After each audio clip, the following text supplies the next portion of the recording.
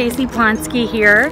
Um, as many of you know, I have been um, on a quest to live healthier and to um, exercise and um, watch what I eat. I have been cutting out a lot of extra sugar, trying to add in extra fruits and vegetables, but I've discovered that sometimes a girl just needs a little chocolate.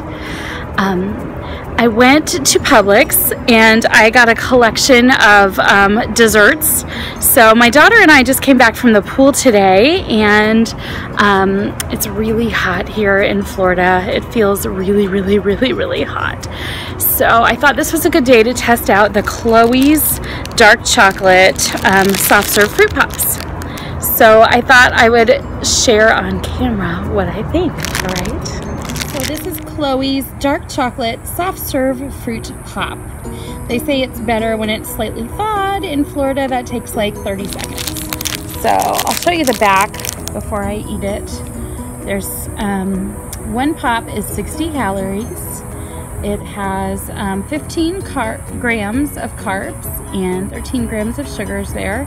Um, and a gram of protein. It has dark chocolate puree, banana coconut, or banana cocoa, sorry, um, natural cocoa water, and organic cane sugar. Okay, so, okay, so here it is. Here's the test.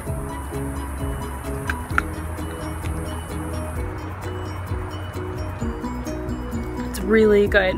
You can taste the banana. Tastes like chocolate covered bananas. And um, this definitely satisfies my sugar craving. I think I'm going to enjoy every last bite.